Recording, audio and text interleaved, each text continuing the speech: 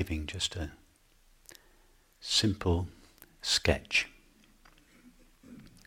of this approach to the non dual understanding. And this sketch or map will give us a context for all our meditations, contemplations, and conversations.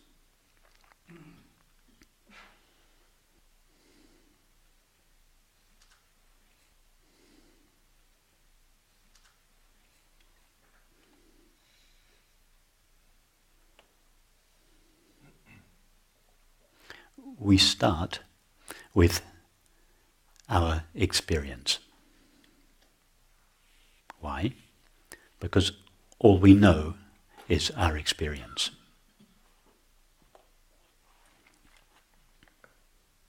And the first thing we notice about experience is that it is always known by what we call I.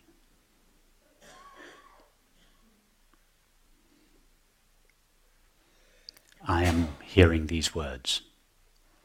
I am feeling the temperature of the air on my skin. I remember traveling here yesterday. I remember my fifth birthday party. I slept well. I love you. I am feeling lonely. I is the central character in our lives. In fact, our entire lives revolve around what we call I. We think on its behalf. We feel on its behalf. We act, perceive, and relate on its behalf. So,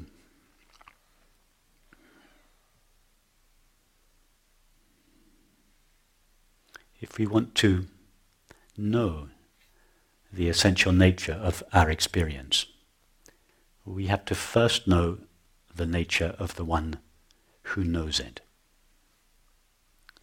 So the first stage, the first of two stages, of this approach is the discovery of what we call I.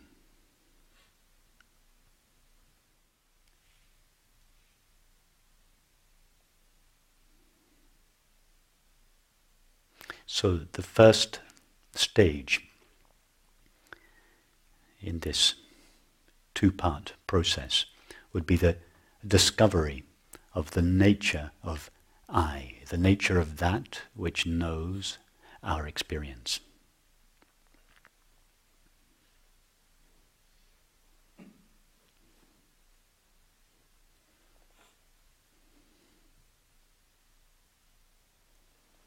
This could be called the, the inward facing path. It is a path in which we trace our experience back to the knower which knows it, to the I that knows or experiences whatever it is we are experiencing.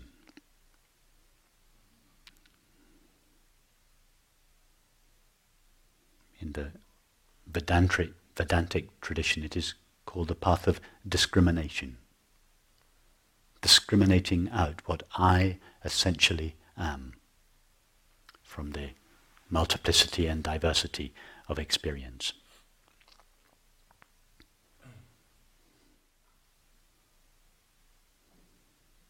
Having discovered or had a glimpse of the true nature of I, we then face outwards again. That is, we face the objects of the body, mind, and world thoughts, feelings, sensations, and perceptions, and we re-evaluate them in the context of our new understanding. And this second part of the approach could be called the outward facing path. It is a path that was implicit in the Vedantic tradition, but was explained in more detail in the Tantric traditions. So both these approaches are included here. The inward, going, the inward facing path, the path of discrimination, the return to our true nature.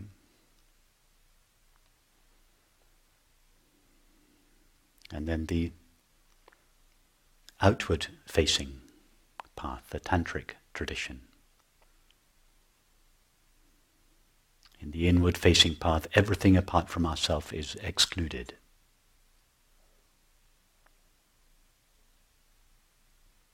In the outward facing path, everything is included.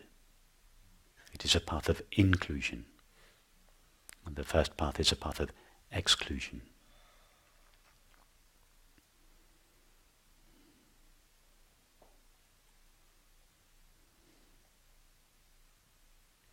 So that's just a, a very brief sketch. It will make more sense and I will fill out these two paths as we as we go on.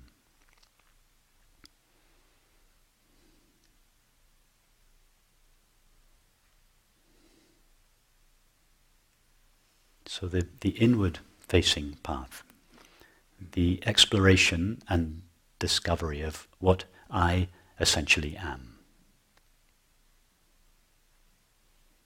If we do not know the nature of that which knows our experience, we cannot know the nature of anything that is experienced.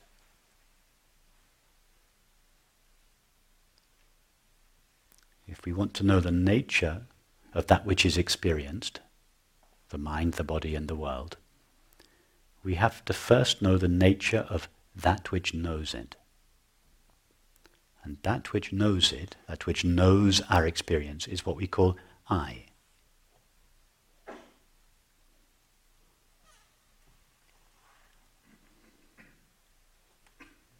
So we start with this deep exploration of what we mean by the word I. In other words, what we mean by ourself.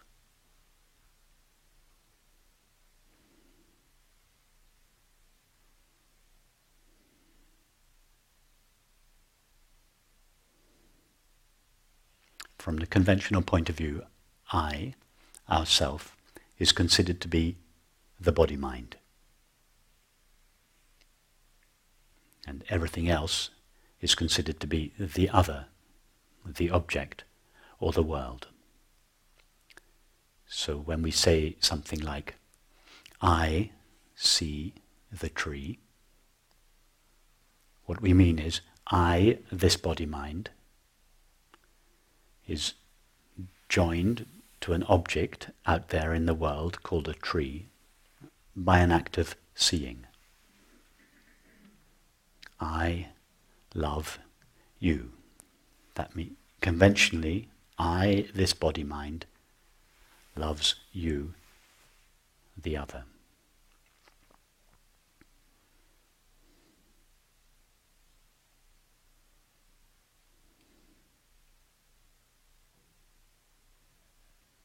Conventionally, whenever we say or think the word I, we are always referring to either the, the body and or the mind. I am tall. I am 47. I am married. I have three children. I am a doctor. I am feeling unwell. I am cold etc., etc., etc. All these are qualifications of I. And the I in this case is considered to be the body and or the mind.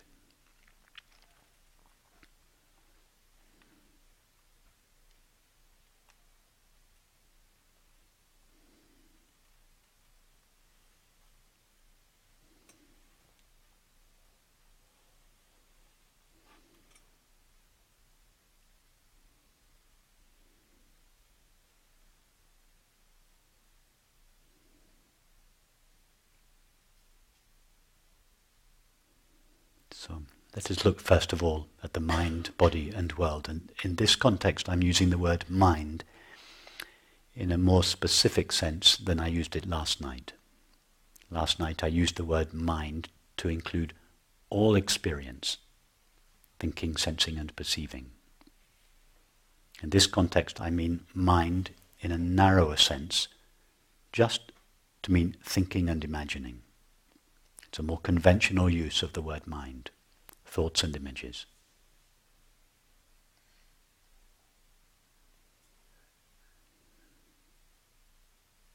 So just now go to your experience of the mind. That is thoughts and images. Just allow a series of thoughts and images to appear and flow by, as it were, and then disappear. It doesn't matter what the thoughts or images are about.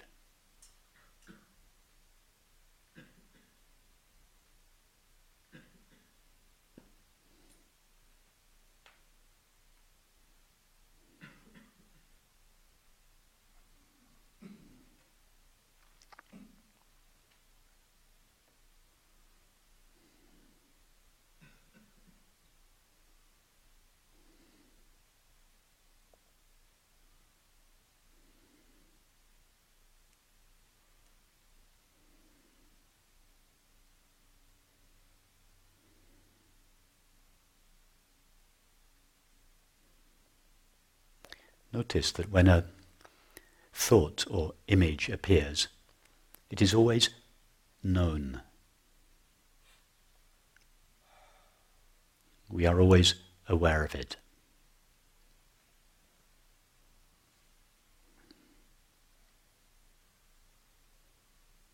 The thought or image appears to us like an object, not a physical object, a, a subtle object.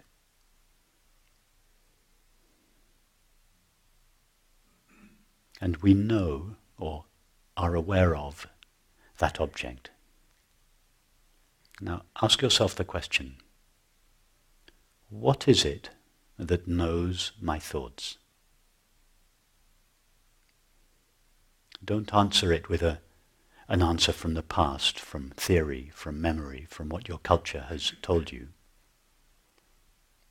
Imagine that you don't have a past to refer to and refer only to your current, direct, intimate experience. When a thought appears, you are knowing that thought. What is this you?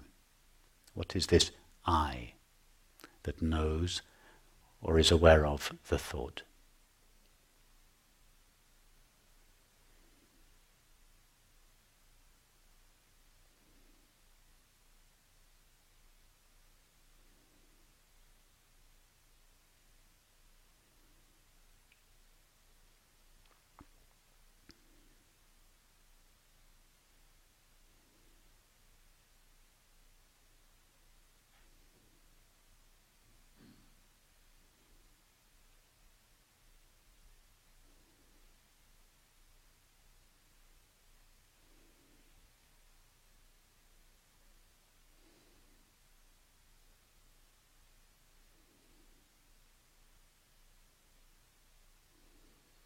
Now, since we have been sitting here for the last 20 minutes or so, dozens of thoughts have appeared and disappeared. And each of those thoughts was known by you. Or rather, known by what each of us refers to as I.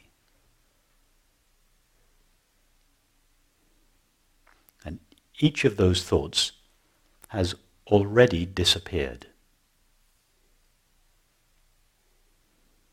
But the I that knows or is aware of this thought doesn't disappear when the thought appears.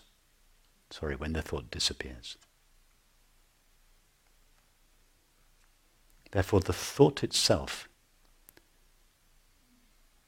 it doesn't go into the essential nature doesn't go into the make of the essential nature of I.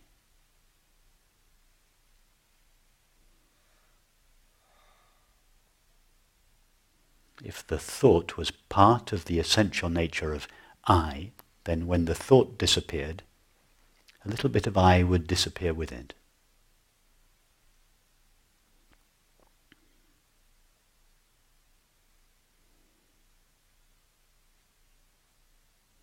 But it is not our experience that a little bit of myself disappears every time a thought disappears.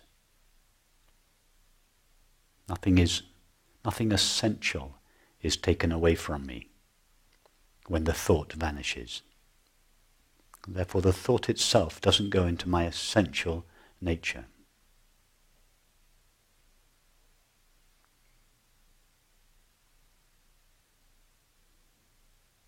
So, what I essentially am is not made of thoughts or images. I is that which knows or is aware of thoughts and images, but is not itself a thought or an image.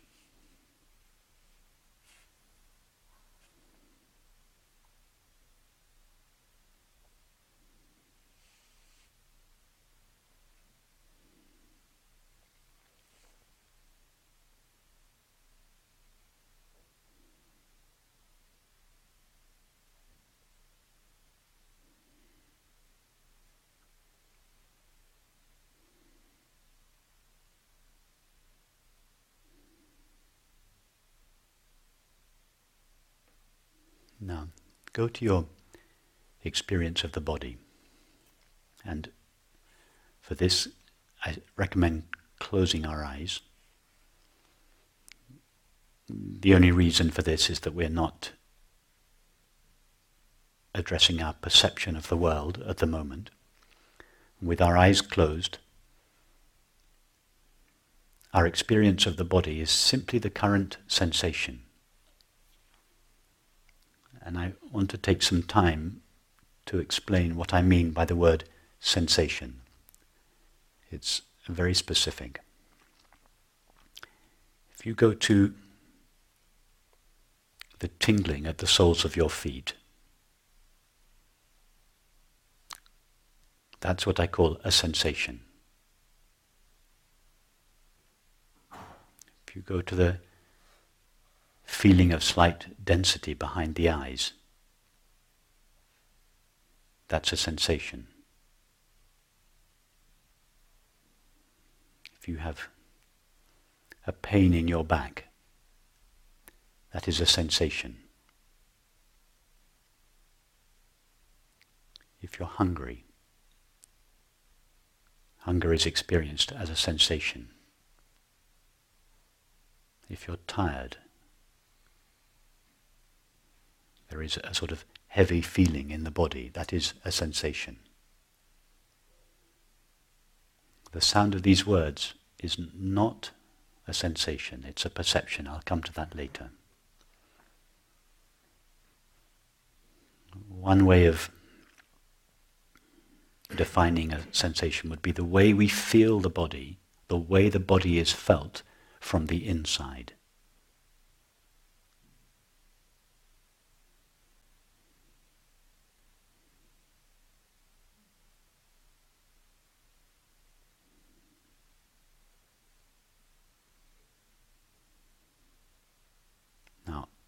Go to the current sensation of the body.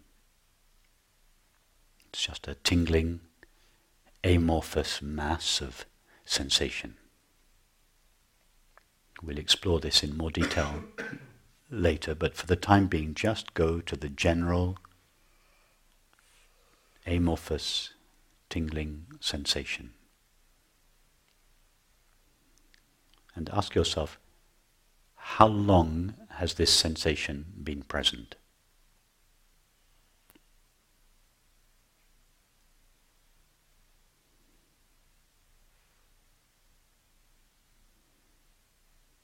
Has this sensation been present 30, 50, 70 years? No. A sensation, like a thought or an image, is something that appears and disappears. It may last a little longer than the thought or image, but nevertheless, no sensation lasts very long. Just gently rub your fingers together. A new sensation appears. Stop rubbing your fingers together. The sensation gradually dissipates and vanishes. No sensation lasts long.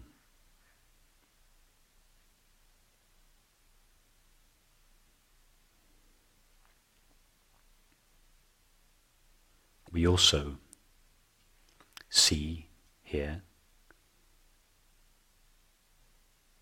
taste, and smell the body. These are perceptions. None of these perceptions last long. In other words, we never experience a continuous body.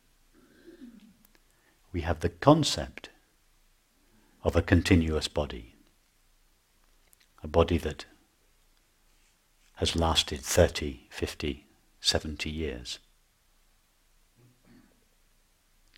But our experience of the body is a series of intermittent sensations and perceptions.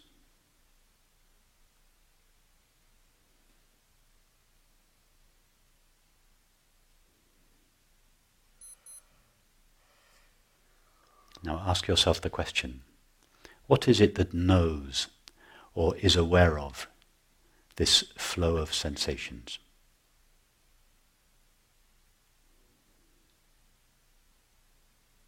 Whatever it is, is what we call I. I feel a headache. I sense the tingling behind my eyes. I am cold. What is it that is aware of all these sensations?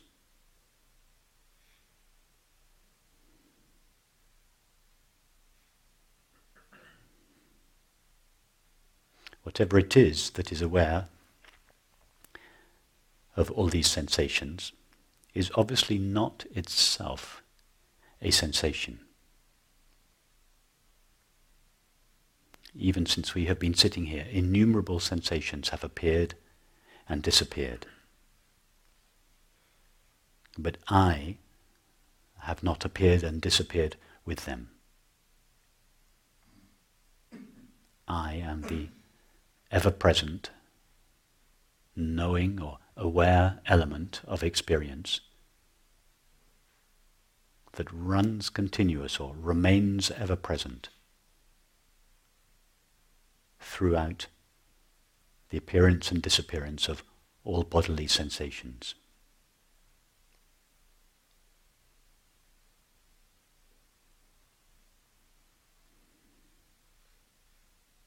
Thus, what I essentially am is not itself made of a sensation.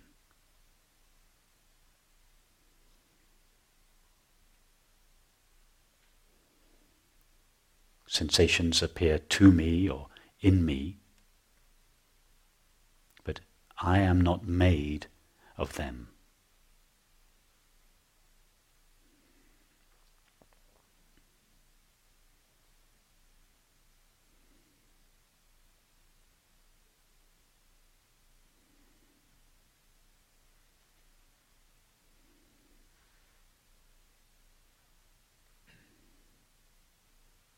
Third element of our experience is the world.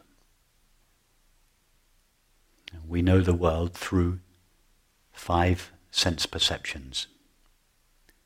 We see it, hear it, touch it, taste it, and smell it. Just check, first of all, to make sure that this is true of your experience. Do you have any knowledge, and by knowledge I don't mean intellectual knowledge, I mean experiential knowledge. Do you have any experience of a world other than sights, sounds, tastes, textures, and smells?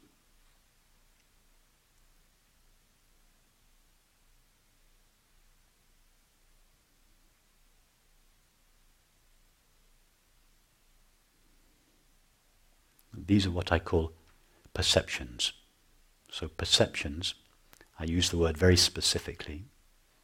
Perceptions include sights, sounds, tastes, textures, and smells. It is our only knowledge of the world. That is our only experience of the world. Now ask yourself the question, how long does a perception last?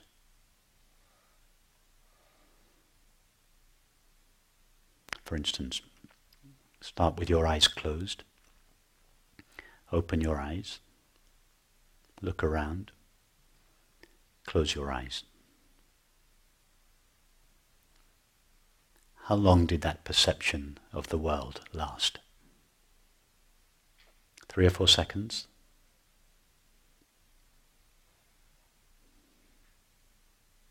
Just go through all the five sense perceptions sights, sounds, tastes, textures, and smells. How long do each of these last?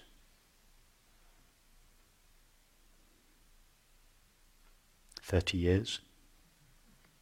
Fifty, seventy years?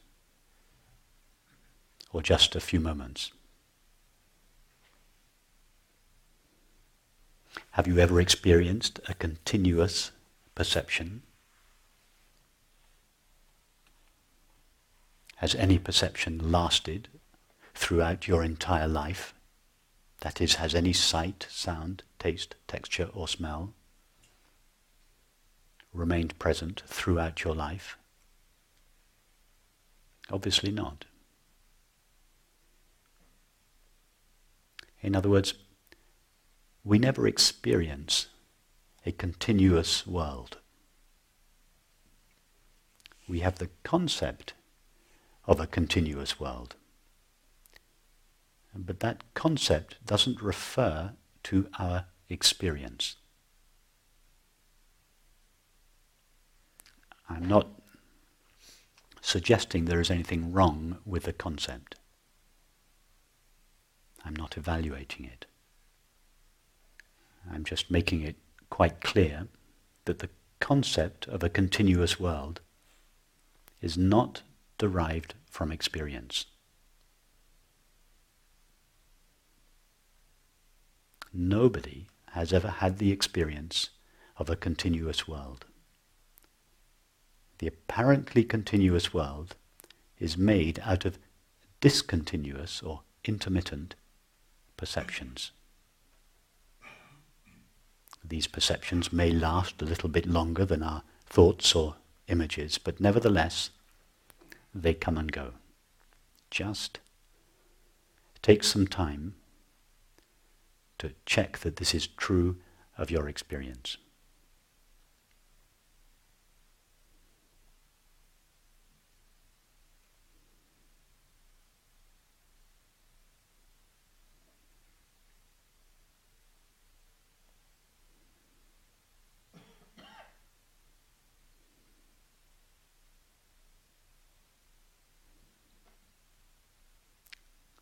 only experience of the world is perception, and perceptions are discontinuous.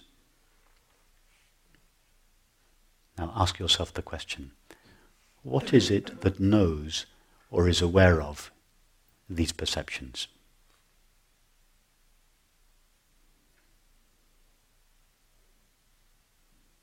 Whatever it is, is obviously what we call I. I am seeing this room. I am hearing these words. I taste the coffee. I touch the chair. I smell the flowers. I is the name we commonly give to that which knows or is aware of the world.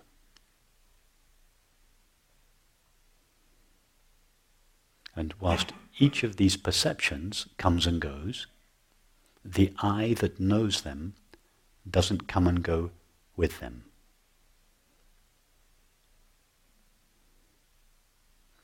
When a perception vanishes, for instance, when the sound of my voice vanishes,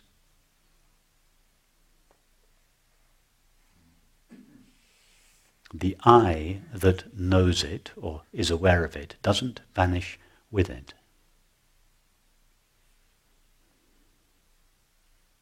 In other words, our perceptions, sights, sounds, tastes, textures, and smells, don't go into the essential make of I.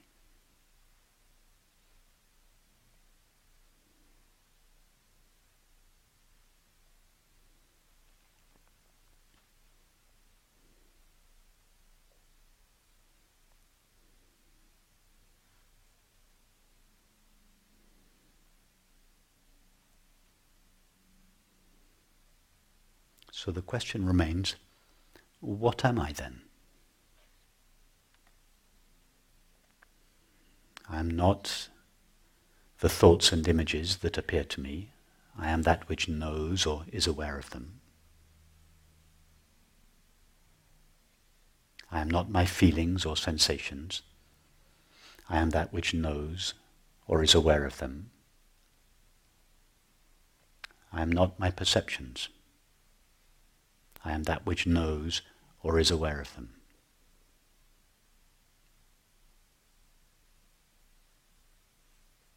What am I?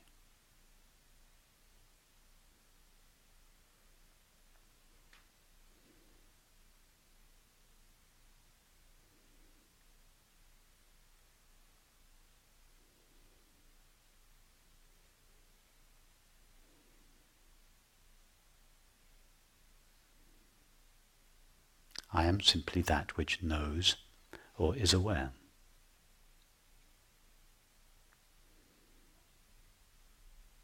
What I know or am aware of is not an essential part of what I am.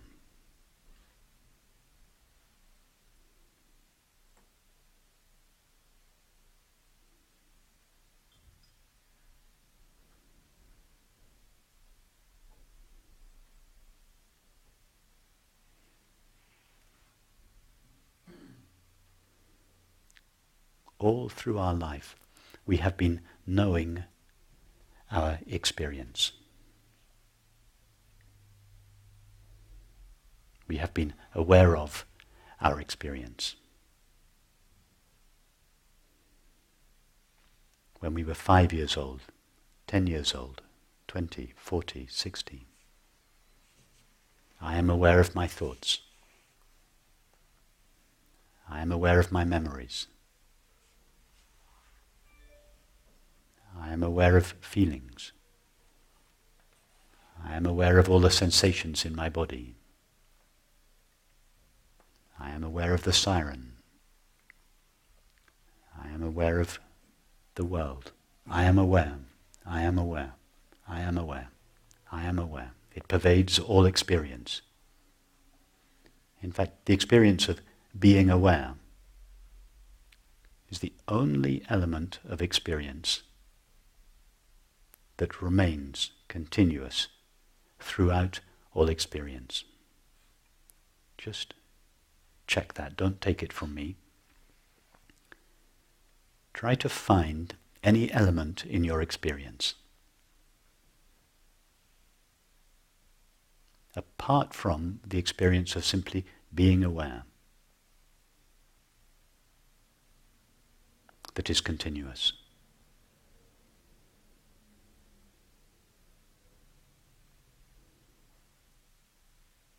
Just start with the last 45 minutes. You have had innumerable thoughts.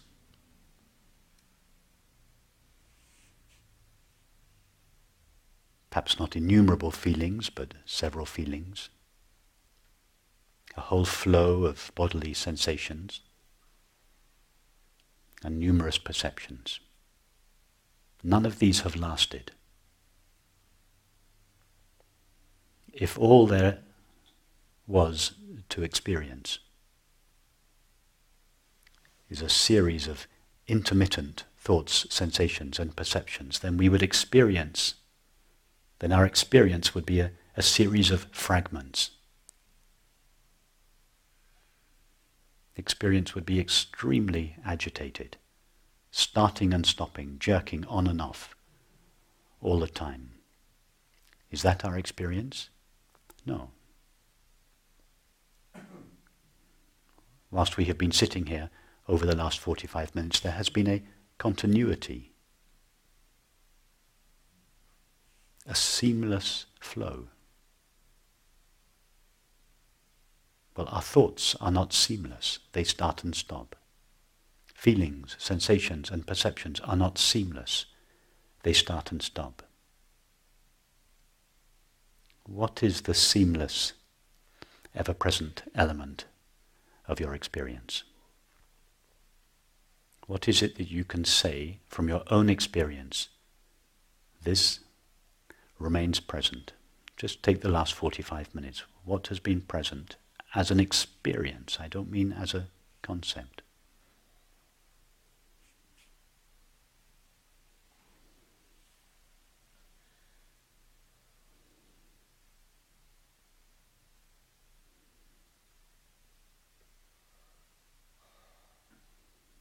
Only the experience of being aware. It is the only stable element of experience, the only continuous element of experience. And if you go back further, not just the f- last 45 minutes, but you go back throughout your entire life, the only thing, and of course it is not a thing, that has remained present with you all your life is the simple experience of being aware. In fact, the simple experience of being aware is the only experience that cannot be removed from you.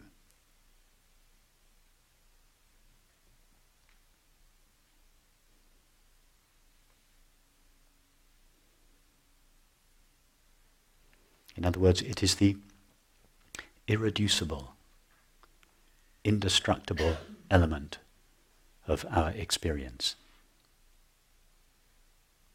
Everything apart from the experience of being aware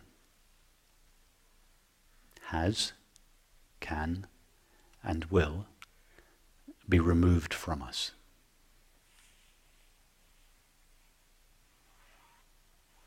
Every thought, every feeling, every sensation and every perception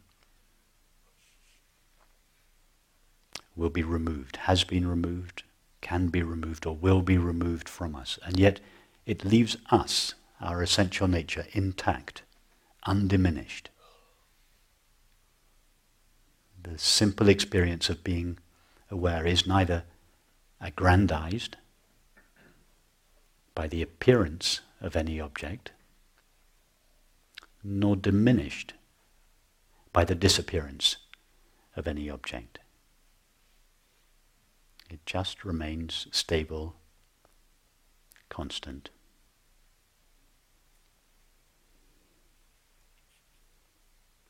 Ever present in the background, so to speak, of our experience.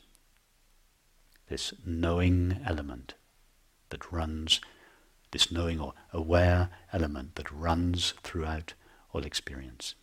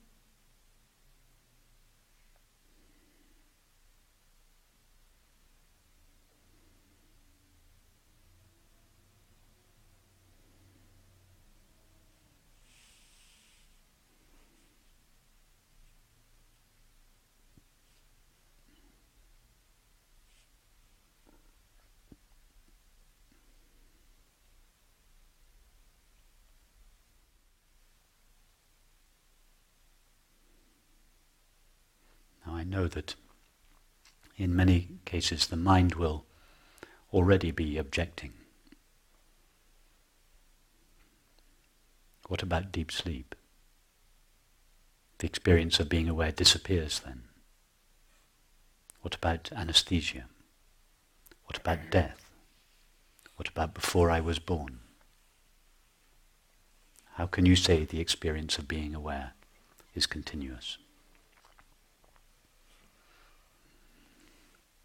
We'll go into this more in, in our conversations.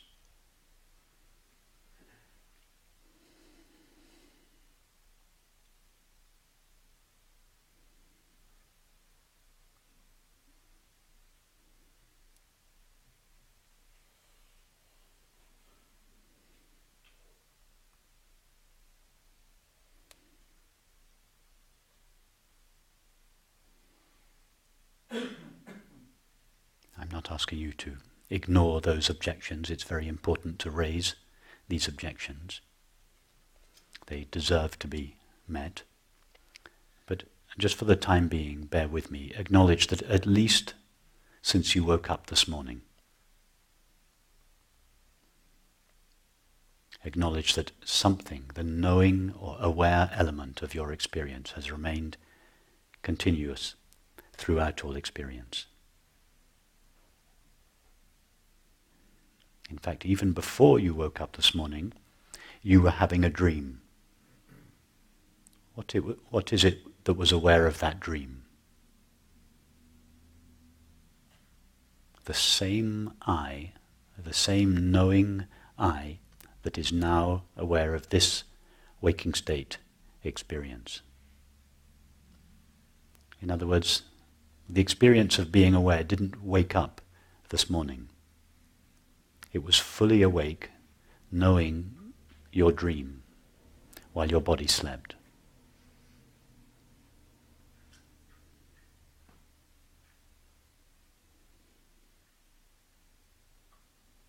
We won't go further into deep sleep at the moment.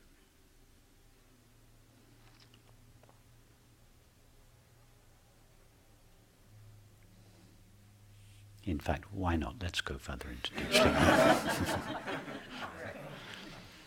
Just be open to the possibility that in deep sleep, the experience of being aware itself doesn't disappear, but that everything we are aware of disappears, leaving just this pure being aware but being aware of nothing.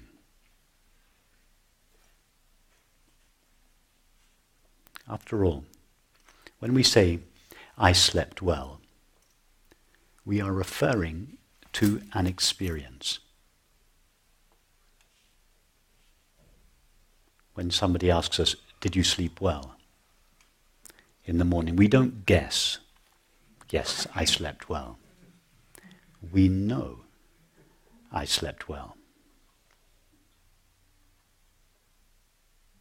How come we know I slept well?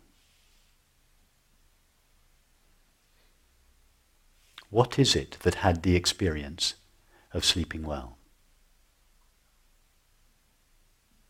What is it that knows that experience?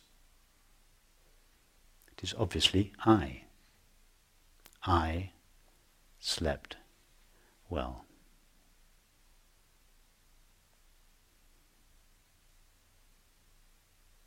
The experience of deep sleep is, in fact, the simple experience of being aware, without being aware of anything. Normally, we think that in deep sleep, I, the experience of being aware, disappears but the body and the world remain. Our experience is in fact the opposite. When we fall asleep, it is the body and the world, that is, sensation and perception, that disappear, leaving I, the simple experience of being aware, alone and by itself.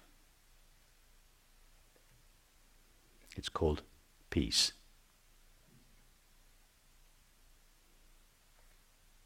The experience of being aware, just resting in itself.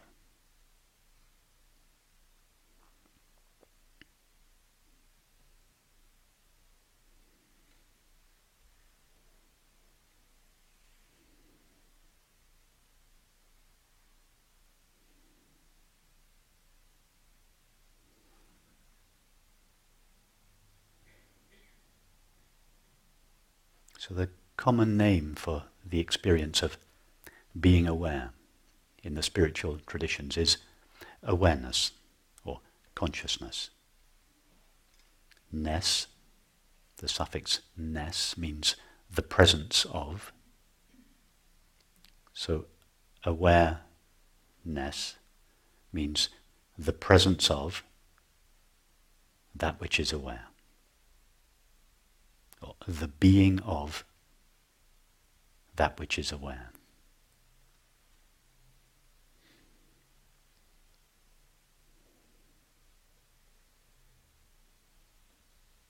The limitations of the words awareness or consciousness, and there are limitations to all the words that we use.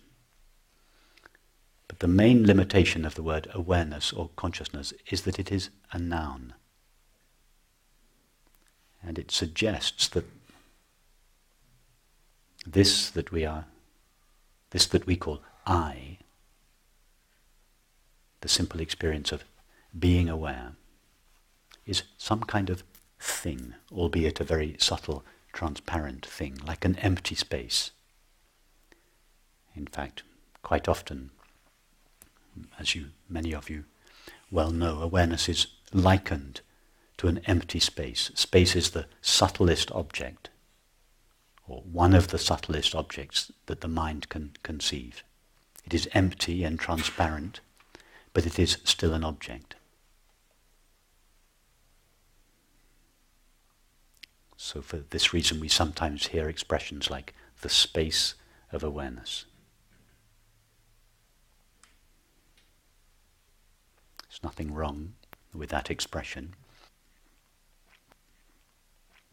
But the reason I take care explaining the meanings of these words is to be sure that when I use the word awareness or consciousness, you don't subtly imagine that I'm referring to some kind of object, some kind of thing. That's why I prefer the expression being aware. The experience of being aware.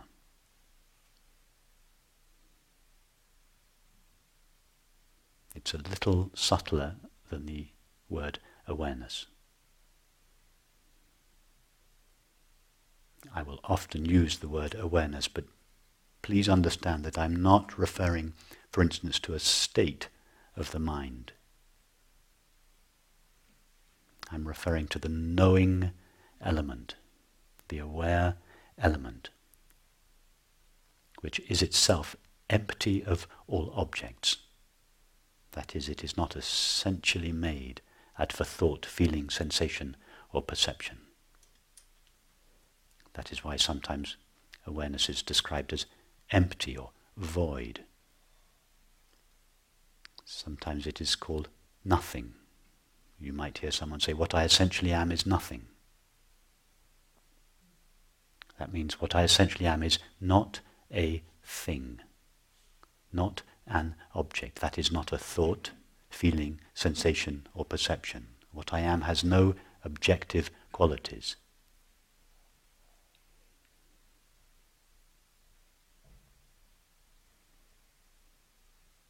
If this is misinterpreted, it can easily lead people to believe that non-duality is a kind of nihilistic doctrine. And indeed, some versions of contemporary Advaita are nihilistic doctrines. All that is meant when we say, I am nothing, is I am not something objective. I cannot be found. as a thought, a feeling, a sensation, or a perception.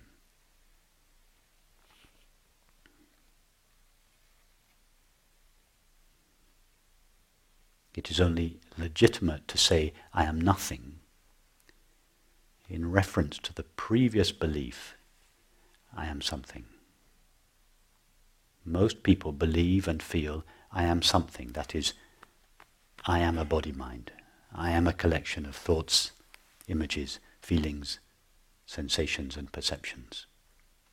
In relation to that belief, the I am something belief, it is legitimate as a step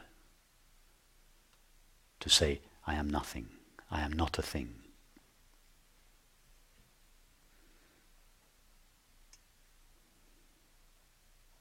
That which I truly am, the simple experience of being aware, is not itself a thing. What I am is this experience of being aware. Now, when I say this experience, I'm using it, the word experience in a very particular way. Normally, when we talk of experience, we mean objective experience thoughts, feelings, sensations, perceptions, the mind, the body, and the world. We could qualify these as objective experiences. The experience of being aware has no objective qualities. And yet at the same time, it is an experience. It's what I call a non objective experience. It's very easy to check this out for yourself. Ask yourself the question now Am I aware?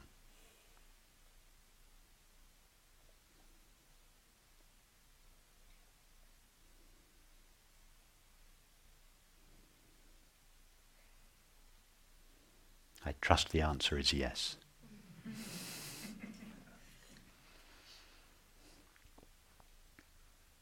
Now, when you heard the question, Am I aware? You pause, you refer to your experience, and as a result, you answer, Yes. It is my experience that I am aware. We don't guess it. We don't believe it. We know it.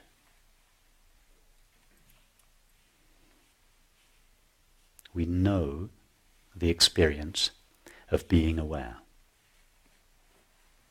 Or rather, we are aware of the experience of being aware.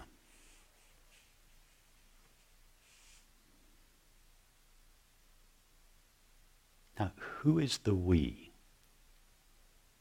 When we say, I am aware that I am aware. or I know that I am aware. What is the I that knows that I am aware?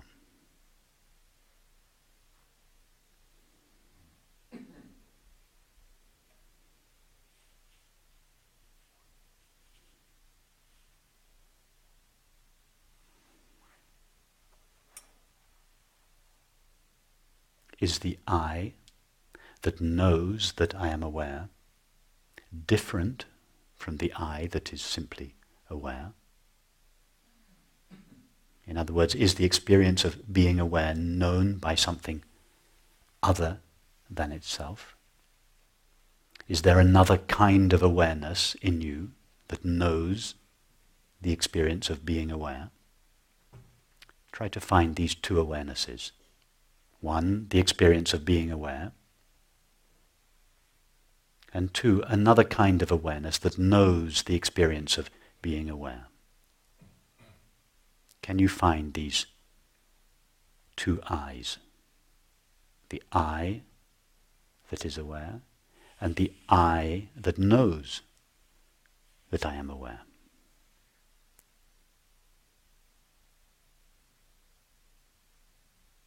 No. It's the same I.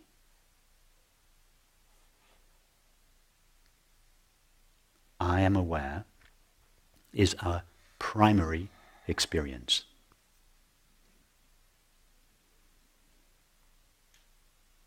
How do we know that I am aware? Because I am aware that I am aware. And the I that is aware is the same I that knows I am aware. In other words, awareness knows itself. Awareness is not known by some other kind of mind. Awareness is primary experience before it knows anything else, like a thought, sensation, or perception. Its primary experience is to know itself. But it doesn't know itself as an object in the way that it seems to know a thought, sensation, or perception. In other words, it doesn't know itself in relationship, in subject object relationship. The I that knows is the I that is known.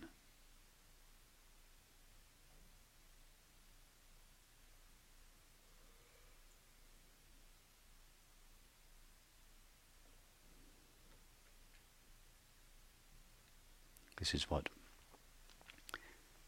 the Old Testament statement, I am that I am, means.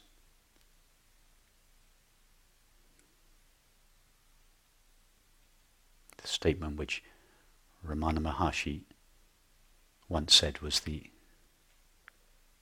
clearest, highest, and most refined statement of non duality there is.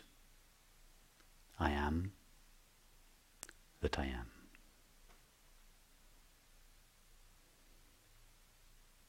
I, that's a shorthand version of I am that which is aware that I am aware.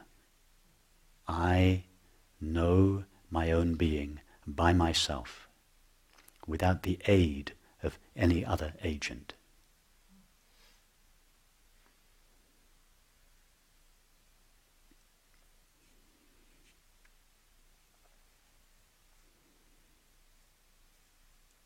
Now, what does awareness need to do in order to know itself?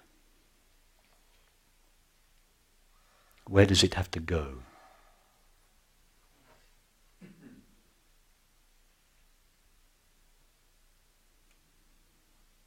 If I were to ask you now to stand up and take a step towards yourself, what would you do?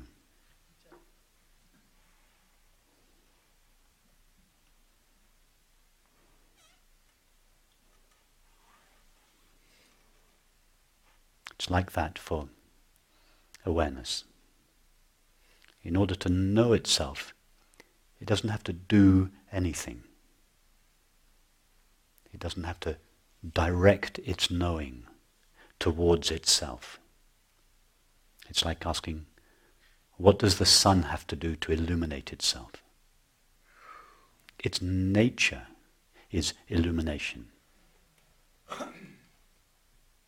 just by being itself, it illuminates itself. For the sun to be itself and to illuminate itself is the same. Illuminating itself is not something that it does. It is what it is. It's the same for awareness. knowing itself is not something it has to do. Just by being itself, it knows itself.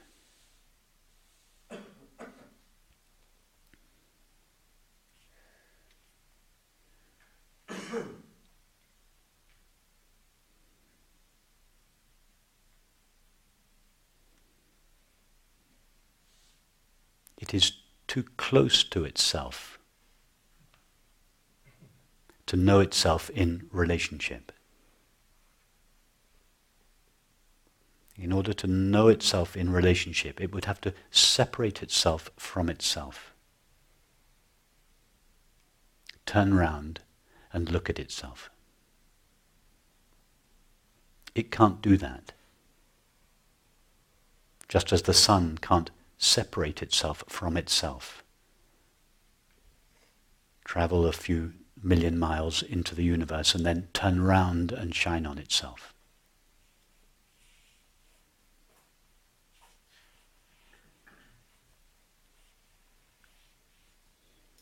In order to illuminate something other than itself, the sun must direct its rays away from itself towards that other planet. But in order to know itself, it doesn't need to shine its rays on itself. It is the illumination of itself. It is self shining, self illuminating.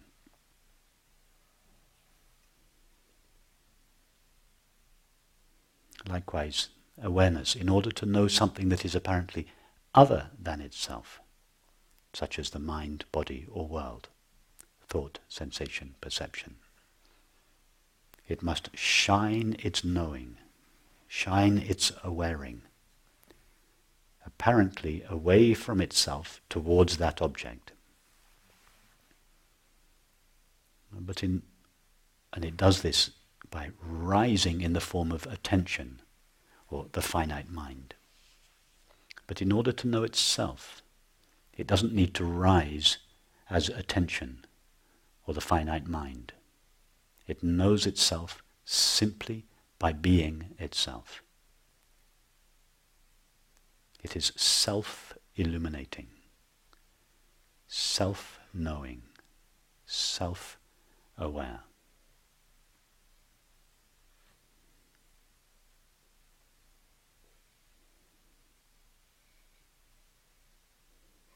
Please remember, I'm not talking about some extraordinary cosmic awareness which we don't have any contact with. I'm talking about the very knowing with which each of us is now knowing our experience.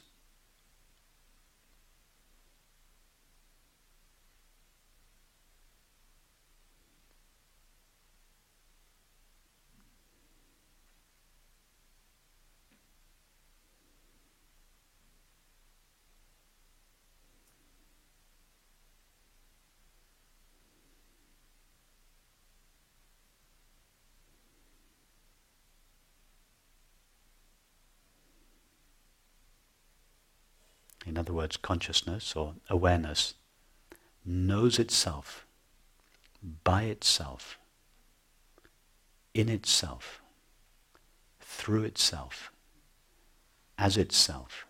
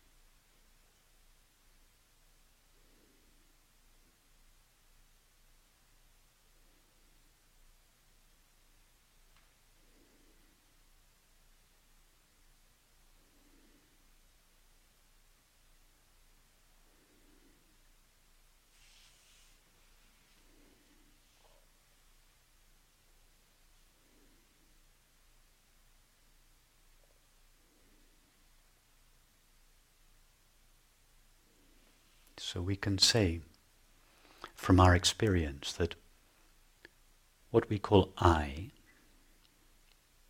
is present and aware. The experience of being aware is its irreducible nature everything apart from the experience of being aware can be removed from us. But the experience of being aware itself is irreducible, indestructible.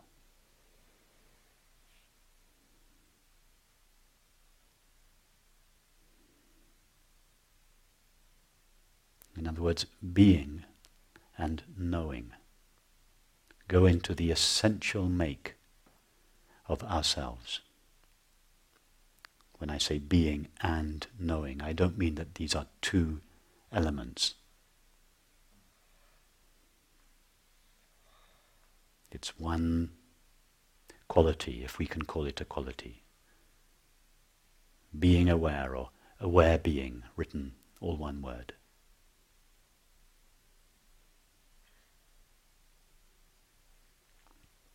We can say that this aware being or experience of being aware is empty. That is, empty of objects, full of itself but empty of objects. It has no objective quality.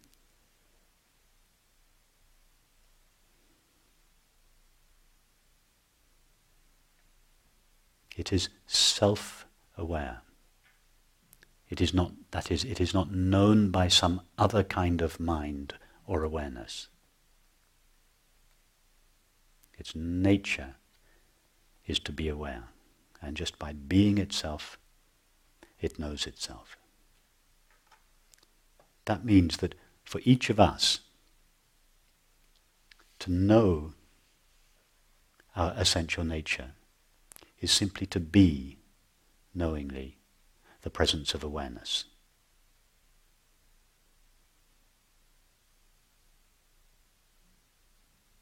That is why it is said that simply being is the highest meditation. We cannot know ourselves as something, as an object. We cannot direct our attention towards ourself. Attention comes from ourself, just as light comes from the sun.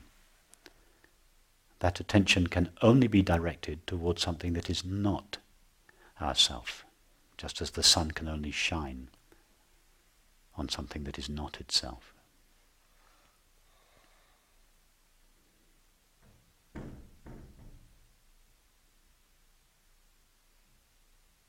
So, so the way to know our true nature of empty awareness is to be knowingly empty awareness.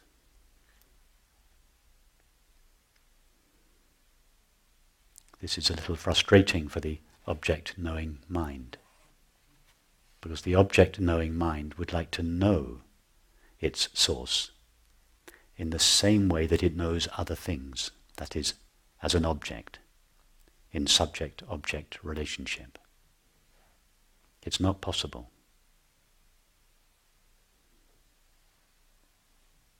To know ourself is to be ourself. And to be ourself is to know ourself.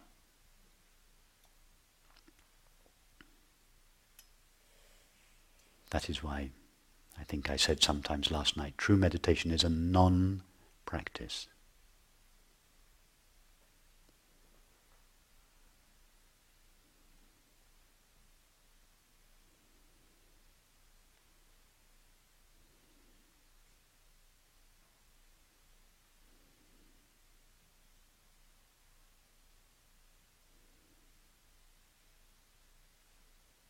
what else can we say from experience about the nature of ourself?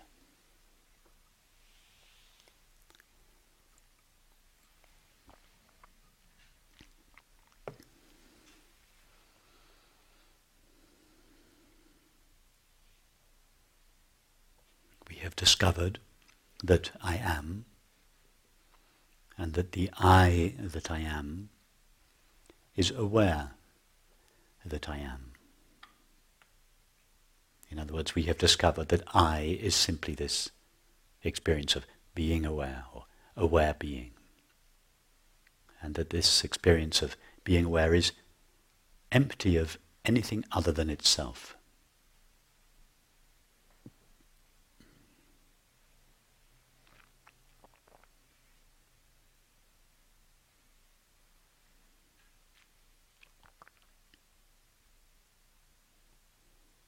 So, how are we going to find out more about ourselves?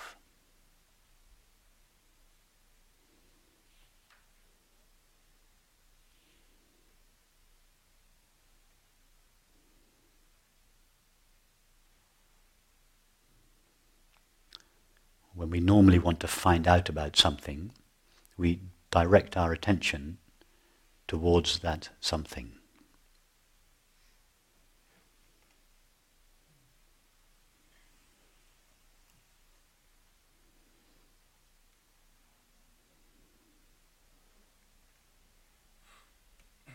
If we want to learn about music, we direct our attention towards music. If we want to learn about history, we direct our attention towards history. Whatever we want to know about, we direct our attention towards it. So here we want to know more about the essential nature of ourselves. Because until we know this essential nature of ourselves, that which knows experience, we cannot know anything that is true about the nature of experience itself. In other words, we cannot know anything that is true about the mind, the body, or the world until we know the nature of that which knows it.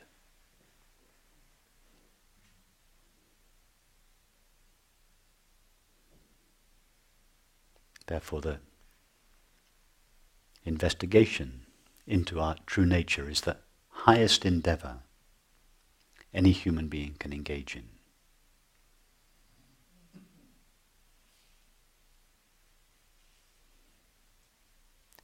In fact, to engage in any investigation other than the investigation into our true nature will always lead to disappointment. Because everything we know is a reflection of the nature of that which knows it.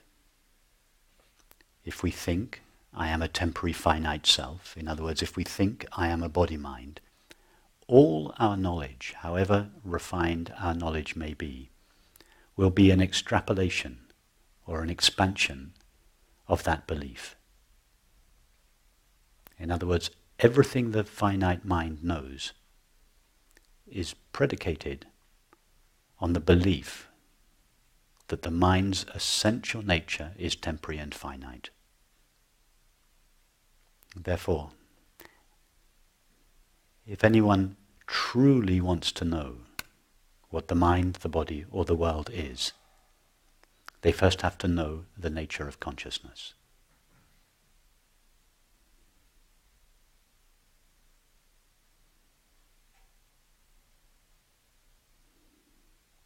That is why the science of consciousness is the ultimate science. It is more essential than the science of physics or psychology, or biology or chemistry.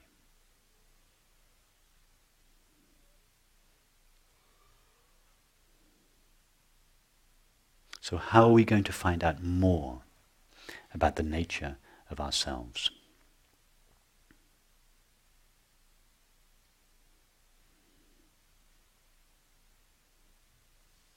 We obviously have to ask the one that knows ourself.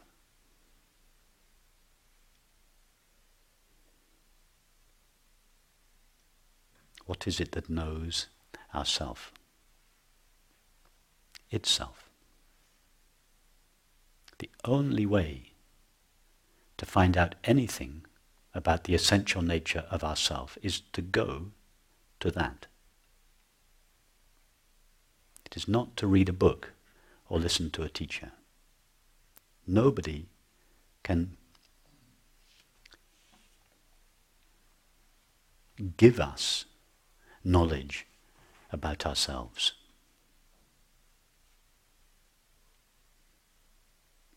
Others can give us hints or clues about where to look, or more importantly, how to look. But if we want to know for ourselves, from first hand experience about ourselves,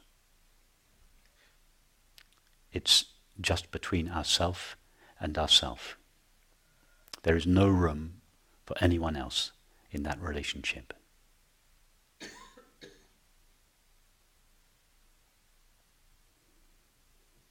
It is between you and yourself.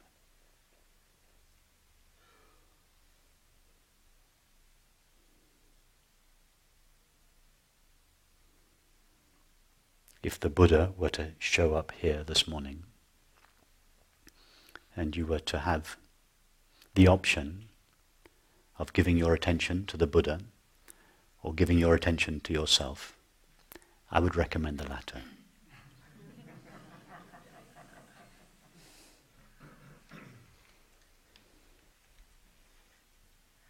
And I think he would agree.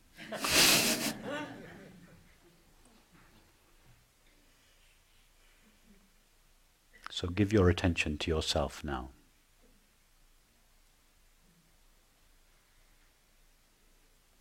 Be aware of the experience of being aware.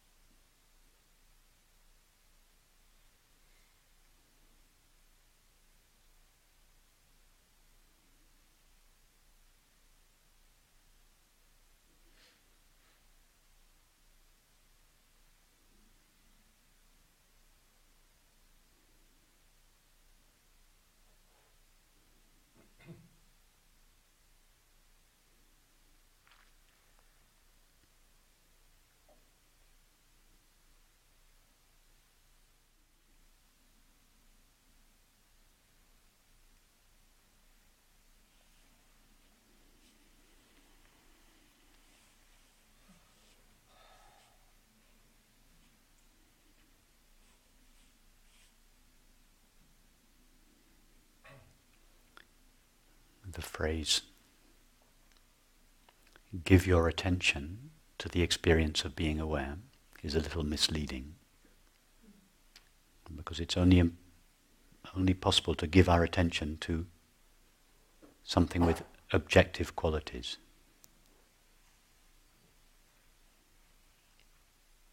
So the phrase, give your attention to yourself, or give your attention to the experience of being aware, is just a concession to the object knowing mind.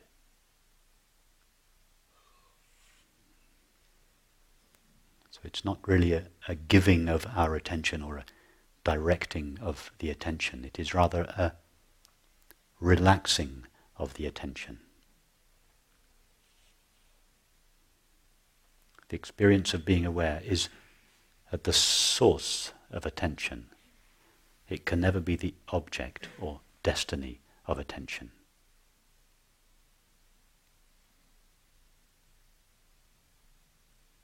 In other words, the source of attention, the experience of being aware, cannot be found with the attention.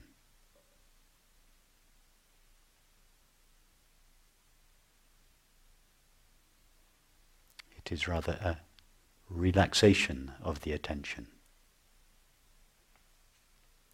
a sinking of the attention, not a rising of the attention.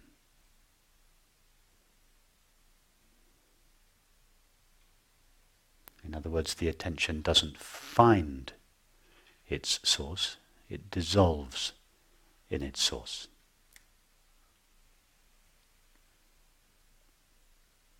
That is meditation.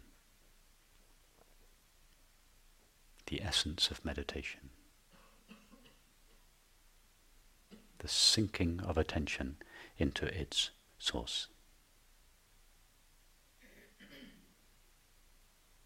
Being aware of being aware.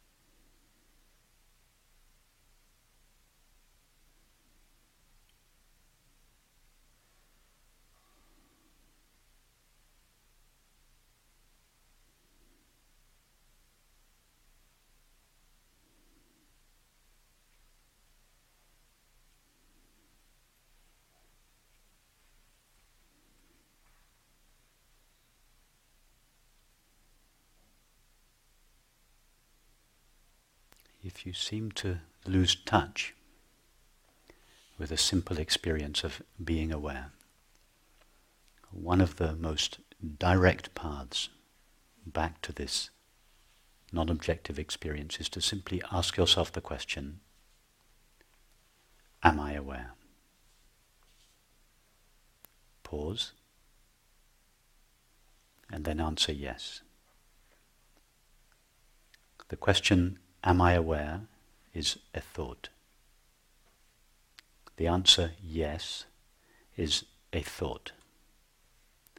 But between these two thoughts, in other words, outside the mind, something takes place. We become aware that we are aware. In fact, we don't become aware that we are aware Rather, we notice the experience of being aware, which was previously veiled as a result of directing our attention towards an object.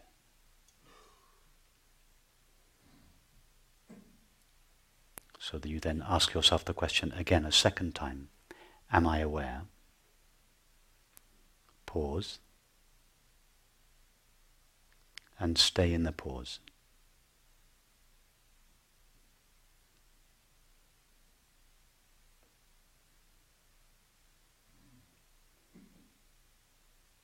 Stay as the pause.